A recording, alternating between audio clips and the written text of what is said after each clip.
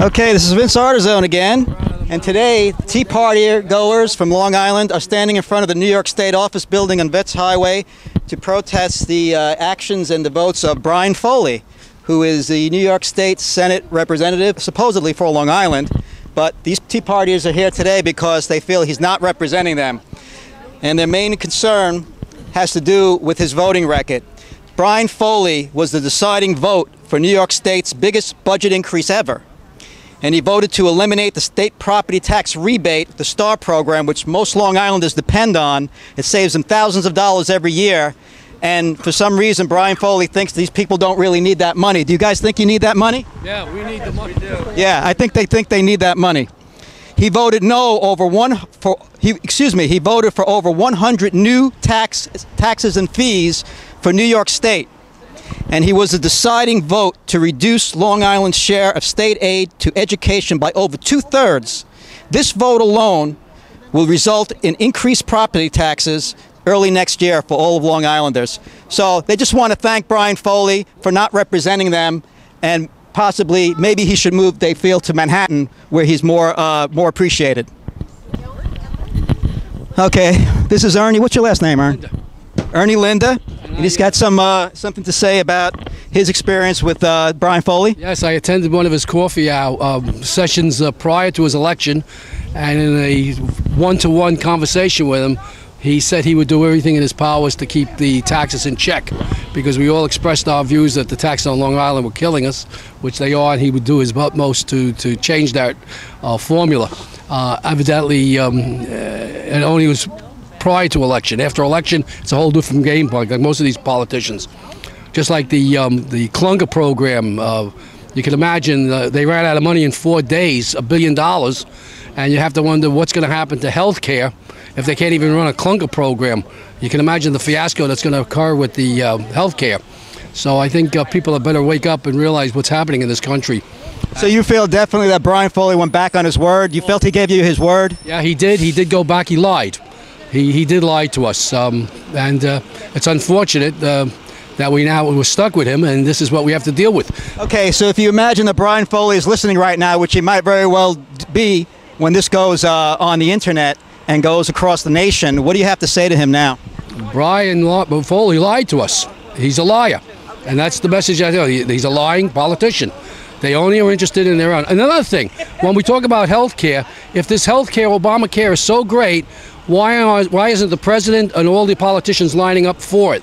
Why is it they want to keep their own health care and we have to live with the health care they want to give us? If it's so great, everybody on board, including the president. Thank you very much, Ernie. Appreciate it. Okay, ma'am. I was attracted to your sign there. Um, you know what the media is going to say as soon as they see that, that there's some racist implications to this sign. What do you have to say about that? Well, since the president is racist himself and has spoken out in his own books, in his own words, and with his own friends, um, you know, tit for tat. This is not racist. This is the truth. This uh, this plan is nothing more than a, an amalgam of past failed efforts. Why do you have him shown in an African garb of a tribal, uh, some kind of tribal member? I think that's probably South American. It's a witch doctor, and this is a witch doctor's plan. Okay, so this is this is directly related to healthcare then. Oh, absolutely. If you look, you can see the hidden and not so hidden agenda is euthanasia, abortion, uh, the end of care for the handicapped, the chronically ill, the elderly, and eventually, as the as the communists used to do when they put uh, political dissenters in mental institutions, us too. So if the media would just take the time to really find out what the message is of these Tea Party goers, they wouldn't jump to conclusions and immediately call you racist or terrorist. Is that what you think? I think the media knows bloody well what we are. It's their agenda they're putting forth. They're not ignorant. And I, I really take great uh, uh, offense at these people, like these politicians, being presented as ignorant. They know what they're doing, they know what they want. They're calling us names because it helps them. And they're not interested in the truth, they're interested in their agenda, and the media is part of it. Nancy Pelosi claims she saw Nazi swatch stickers at one of the Tea Party events. Uh, do you uh, agree with that or, or her assessment of that? Oh, I put one on one of the signs I had. And what was your message? The final solution of the problem for Medicare and Social Security was this plan.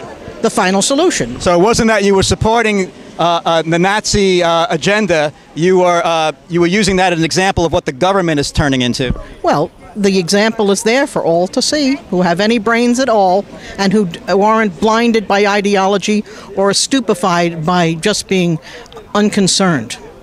Thank you for your very thoughtful and educated comments. Appreciate it.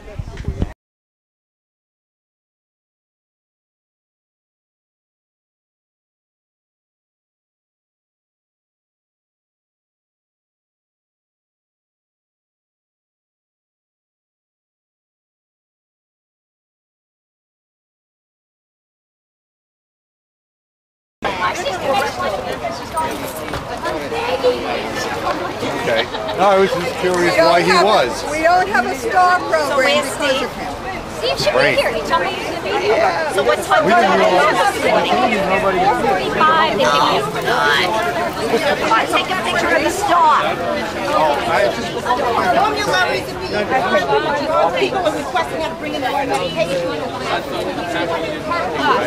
I got a million kids. Go. That's not, that's not the stuff. That's the, that's the truck. This is New York State Office Building off Vets Highway in Hauppauge, Long Island. Uh, these are offices of uh, a lot of government officials, local government officials, and the uh, Department of Motor Vehicles is here. And Brian Foley's office is in here.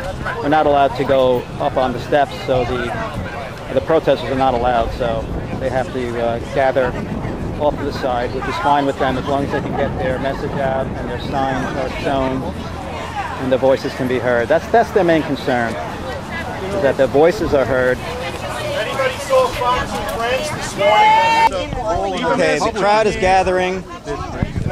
It's 12:30 right now. This event was uh, supposed to start at 12. There was a couple of people here at 12, and now it's probably a couple of dozen. Probably more, actually, closer to 50.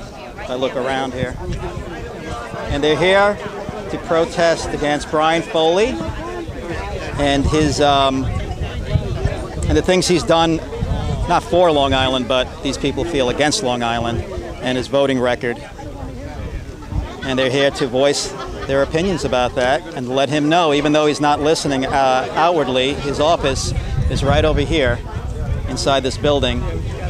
Um, whether he's there or not, I really don't know, but no representative from his office is coming out to speak to these people. So they're just coming out here to talk to other citizens from Long Island who are coming in, a lot of them coming in to the, to the DMV for their licenses, and uh, they're going to hear about Brian Foley while they're going through.